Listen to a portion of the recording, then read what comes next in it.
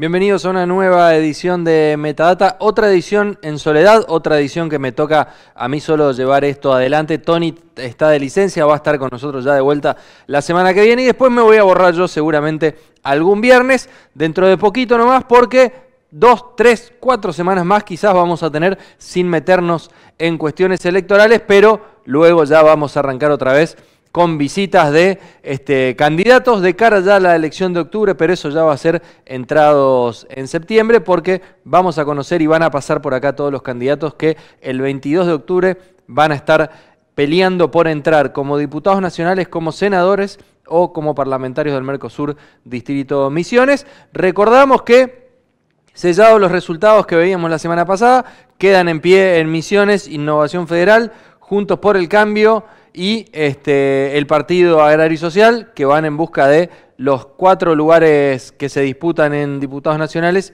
y los tres lugares para senadores y el único lugar que tiene misiones para parlamentarios del Mercosur. Pero eso ya va a ser más adelante. Para el programa de hoy tenemos varias cosas que vamos a repasar. Enseguida nomás vamos a ver algunas de las cuestiones que tienen que ver con la Argentina inserta en el mundo. Hubo novedades esta semana y de eso vamos a estar comentando y vamos a estar escuchando algunas cosas. Después nos vamos a meter en el tratamiento del presupuesto 2024 del Poder Ejecutivo de la provincia. Habíamos contado semanas atrás cuando se presentó un poco los números y que por primera vez iba a dar la particularidad de que los este, integrantes del Poder Ejecutivo, gobernador y vicegobernador, que van a asumir el 10 de diciembre y que van a ejecutar este presupuesto, lo están tratando como diputados. Bueno, empezó el desfile de funcionarios y tenemos las poses y las palabras de algunos de ellos que ya pasaron esta semana en un tratamiento que es rapidísimo, super express, recontra concentrado y de muchas horas de trabajo por día, porque tienen que sacarlo antes de que sean las elecciones, porque el 30 de octubre cierra el periodo ordinario de sesiones y este, antes de eso la Cámara de Diputados seguramente va a cerrar sus sesiones para entregar el edificio al Tribunal Electoral para lo que es repositorio de urnas y escrutinio definitivo. Después de eso, ya va a ser noviembre, no van a volver las sesiones, salvo que hagan alguna extraordinaria, y seguramente van a querer tener terminado el presupuesto antes de eso para que Misiones sea otra vez la primera provincia en tener el presupuesto del año siguiente. Después nos vamos a meter en el impacto que está teniendo la devaluación, pero no en Misiones y no en la Argentina, sino acá al lado. ¿Qué está pasando en Paraguay con respecto a la devaluación del peso, con respecto al dólar? ¿Qué está pasando en la relación comercial entre eh, las ciudades de fronteras? Les adelanto una cosita, la situación en Posadas y Encarnación es muy distinta a la que se está viviendo en Iguazú, Foz y Ciudad del Este. Y vamos a estar hablando de eso y vamos a estar escuchando comerciantes del Paraguay, de Ciudad del Este y de Encarnación, cómo está diferente la situación y cuál es el motivo por el cual se está manejando diferente. Pero les adelanto una cosa, en uno de estos dos lugares está siendo muy difícil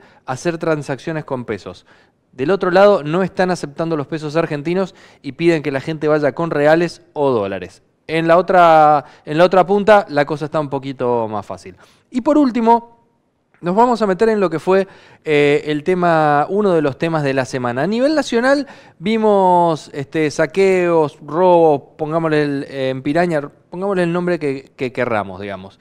Fue bastante raro lo que pasó en el conurbano. En Misiones no pasó eso. Pero hubo una situación de tensión con organizaciones sociales que fue rara y que se dio en Campoviera, donde un grupo de eh, una organización social del movimiento Teresa Rodríguez fue hasta la municipalidad encapuchados, con palos, con piedras, con bombas Molotov, dice el intendente, cercaron la municipalidad, no dejaban que los empleados salgan, no dejaban que la gente entre, se pusieron violentos, se enfrentaron con la policía, según ellos reclamando por planes nacionales, aumento de planes nacionales, planes que la municipalidad no tiene absolutamente nada que ver. Bueno, fue todo muy raro. También en el medio aparecieron o se escucharon gritos, por lo menos en el momento en que se iniciaba la manifestación frente a la municipalidad, que hablaban de servicios de agua, de luz, de tierra, de regulación. Bueno, un montón de cosas que al parecer se mezclaron y que terminaron en un momento de altísima tensión frente a la municipalidad de Campoviera, que después derivó en declaraciones del intendente, en denuncias penales y en operativos de la policía para detener al menos a tres personas. Todo eso lo vamos a estar repasando en el programa de hoy. Así que como verán, tenemos un montón de cosas y bastante surtido. Pero el primero de los temas en el que nos vamos a meter es lo que pasó esta semana con respecto a la Argentina y su inserción en el mundo. Creo que uno de los máximos objetivos que se había puesto Alberto Fernández de la pandemia para acá para tratar de terminar lo más decorosamente posible su gobierno eh, y que no pase al ostracismo del todo. Y empezó un trabajo fino y de insistencia. Por un lado con Lula, por otro lado con Xi Jinping, el presidente de China, y en algún momento antes de que empiece el lío y la guerra que desató Rusia en Ucrania, había intentado también con Putin en algún encuentro pedirle que interceda para que la Argentina sea parte de los BRICS. Eso finalmente se concretó esta semana y por decisión de los países miembros de los BRICS, que son Brasil, Rusia, eh, China, Sudáfrica y la India, se incorporaron nuevos países. No fue solo la Argentina. Entraron seis países en total. Entró Argentina, entró Arabia Saudita, entró Egipto, entró Etiopía y eh, Emiratos Árabes además de la Argentina, por supuesto. Estos son, pero Argentina es el único país fuera del mundo, este, ah, Irán también entró. De lo que es Oriente y Medio Oriente, este, Argentina es el único país de este lado del hemisferio este, que, terminó ingresando. Eh, despertó polémica. Vamos a escuchar en primer lugar lo que dijo el presidente Alberto Fernández al anunciarse o minutos después de que se anunciara la, eh, el ingreso de Argentina a los de la Argentina fraterna y abierta al mundo que siempre soñamos. Como parte del sur global, este sur, lleno de esperanza y de futuro, nos hemos incorporado a la alianza de los BRICS, los países más importantes de las economías emergentes. Se abre un nuevo escenario para la Argentina. Vamos a ser protagonistas de un destino común en un bloque que representa más del 40% de la población mundial y al mismo tiempo que seguimos fortaleciendo nuestras relaciones fructíferas, autónomas y diversas con otros países del mundo. Argentina fue, es y será un país integracionista. Es una política de Estado buscar la integración con diferentes instancias a nivel regional y mundial, porque está probado que de ese modo aumentamos nuestras posibilidades de abrir nuevos mercados, de consolidar los mercados existentes, de favorecer los flujos de inversión, creando empleo, de aumentar las exportaciones y de desarrollar la aplicación de nuevas y mejores tecnologías. Durante el año 2022 comenzamos las gestiones para el ingreso de la Argentina a los BRICS. Hicimos reuniones con los jefes de estados, con los cancilleres, con los embajadores de todo el bloque, en la convicción de que se trataba de una plataforma política y económica necesaria frente a un mundo inestable e inequitativo, donde los países con economías emergentes requerimos mayores niveles de integración.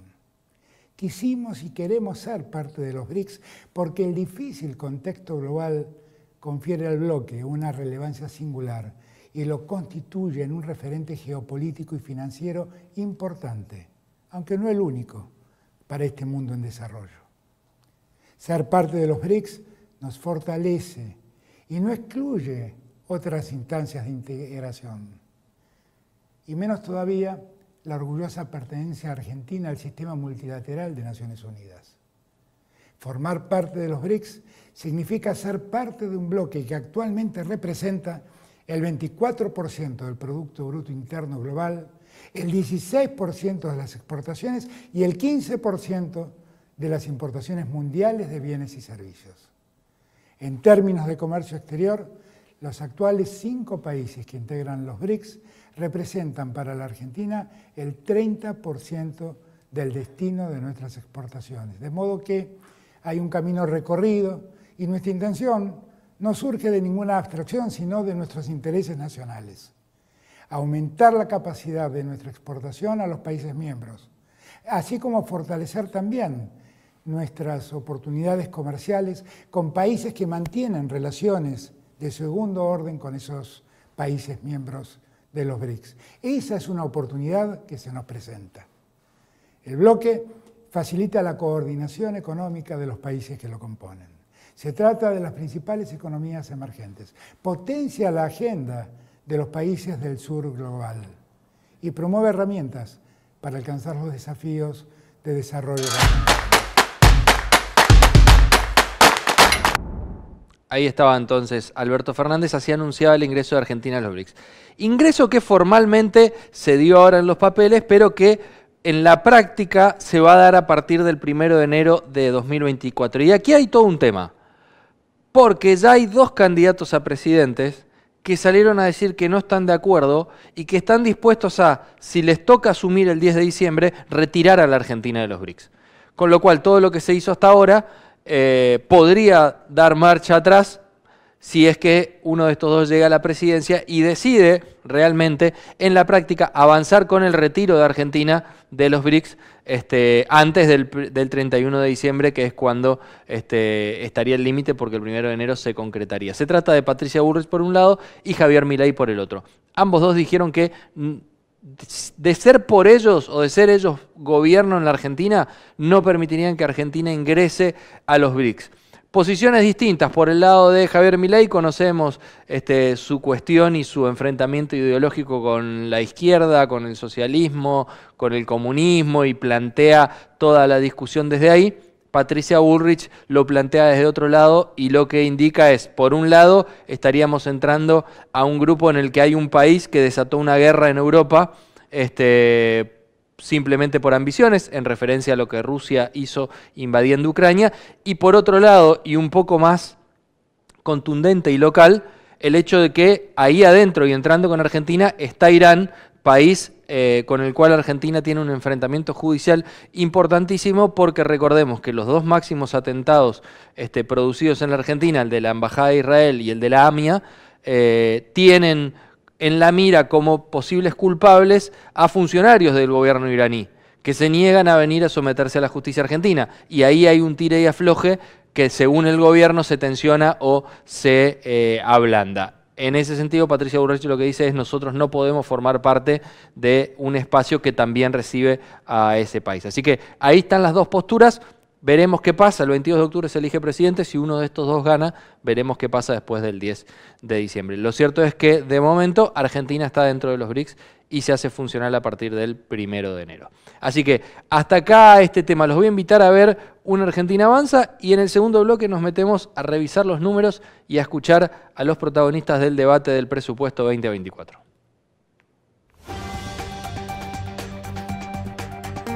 Economía, financiamiento para el desarrollo. El ministro de Economía Sergio Massa acordó dos préstamos por más de 1.300 millones de dólares. Se financiará el segundo puente Corrientes Chaco y la ampliación de la represa Salto Grande. Además, se destinarán fondos para la agenda alimentaria y el fortalecimiento de pymes.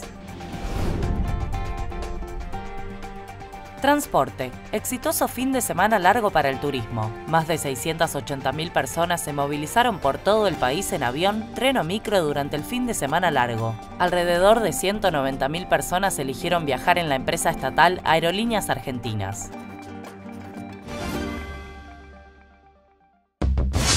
logramos que mil barrios populares cuenten con conexión a Internet de fibra óptica de máxima calidad por primera vez. Y detrás de ese dato, más argentinas y argentinos están mejor conectados.